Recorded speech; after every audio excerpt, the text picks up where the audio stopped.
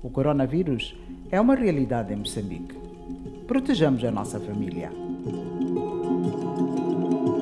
Querido irmão e querida irmã, se testou positivo para Covid-19, não se desespere. Fique sozinho num quarto, numa sala, varanda ou uma área da casa onde passam poucas pessoas e saia apenas para ir à casa do banho. Isolamento domiciliar significa ficar em casa, mesmo que não tenha os sintomas da doença. A prevenção está nas tuas mãos.